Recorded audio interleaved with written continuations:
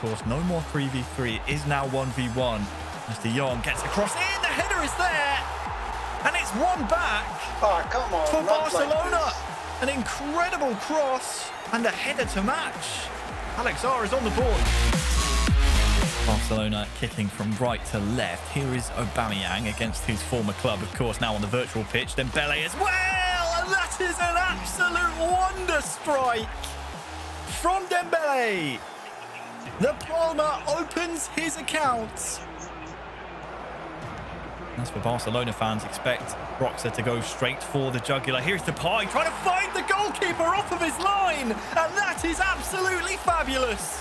One chance, one goal, and it is a fabulous one.